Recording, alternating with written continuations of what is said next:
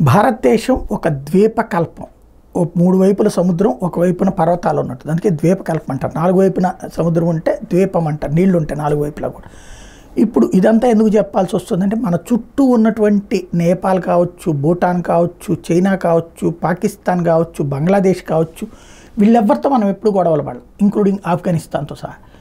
ఒకవేళ వాళ్ళు గొడవలు పడుతున్నటువంటి సందర్భంలో ప్రతిఘటించడం తప్పించి మనం ఎప్పుడు గొడవలు పడలా. మనం పెద్ద దేశం కాబట్టి అది ఆక్రమించుకోవాలనుకోలేదు. కానీ చైనా తైవాన్ ఆక్రమించుకోవాలనుకుంది ఫిలిప్పైన్స్ని ఆక్రమించుకోవాలనుకుంది తైవాన్లో అక్కడ తన రాజకీయం నడపాలనుకుంది తీరా చూస్తే హాంకాంగ్ లాగా తయారయ్యేటటువంటి సందర్భంలో తైవాన్ ప్రజలు ఎదురు తిరిగారు.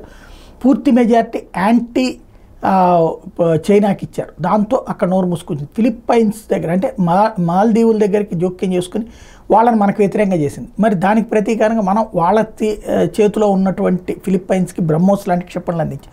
ఇప్పుడు కావాలని వాటర్ క్యానన్స్ ప్రయోగించి ఫిలిప్పైన్స్కి సంబంధించిన షిప్పుల మీద దాడి చేసింది చైనా. తద్వారా కవ్విస్తోంది రెచ్చగొడుతోంది. ఏం జరుగుతుందో చూడాలి?